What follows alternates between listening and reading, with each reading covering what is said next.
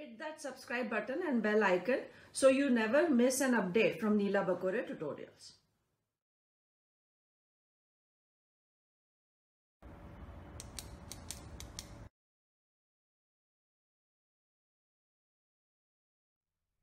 From this video, we are starting with the new chapter that is Plant Kingdom.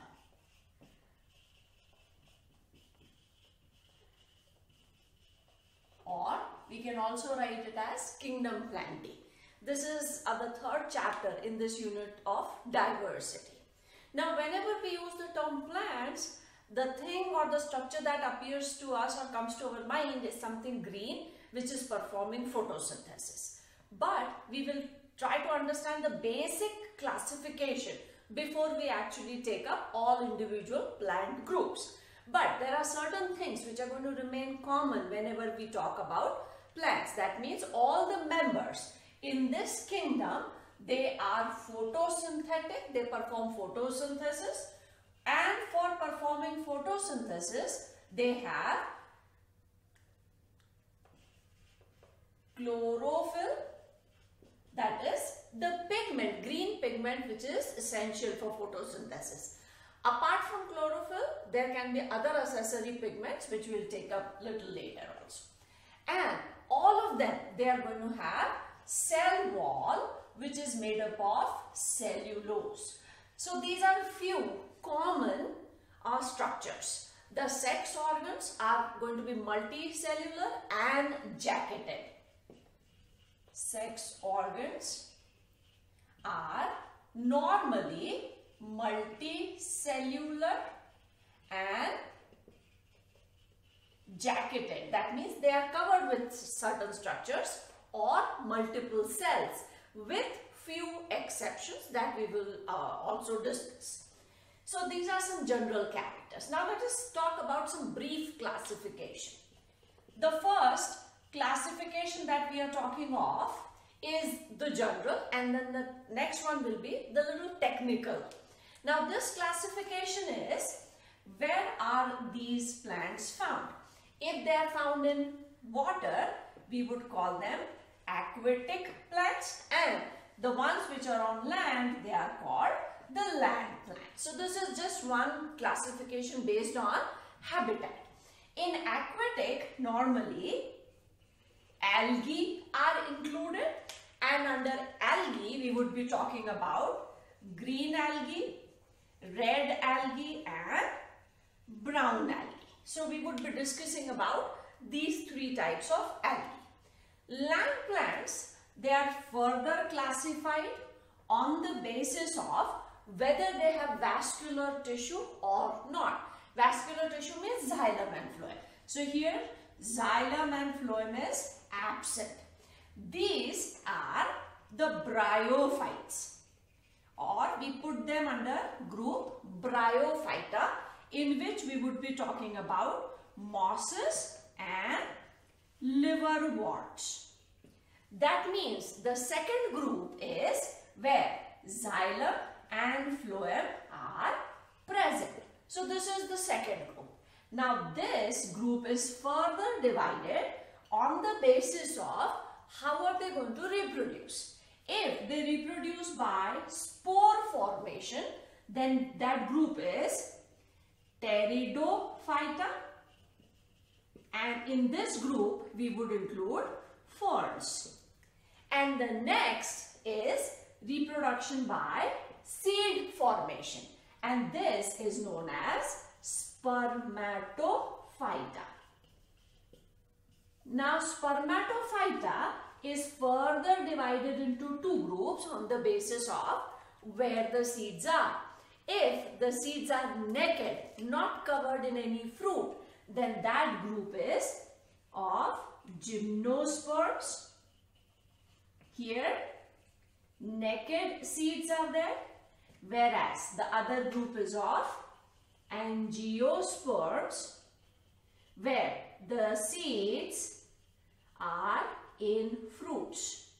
They are covered seeds. The seeds are going to be uh, in, uh, enclosed inside the fruit. And angiosperm is further divided into dicot and monocot depending upon how many cotyledons are there in these seeds. So this classification is a very basic classification. Let us talk about one more classification. So now here we are classifying the plants on the basis of what kind of body they have. And here the main groups are cryptogams and phanerogams. Cryptogams include those plants which are non-seed producing. Now we can combine these two classifications also. Let us first draw this and then we'll compare the two. That means here there are plants which are going to reproduce but seed formation is not going to take place. So in this Thallophyta in which algae would be included. The second group is of Bryophyta where moss and liverworts are included.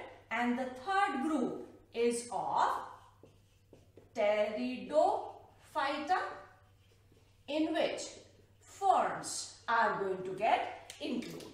So here we would have Thallophyta, Bryophyta and Pteridophyta. And they reproduce by formation of simple structures which are called the spores but no seed formation.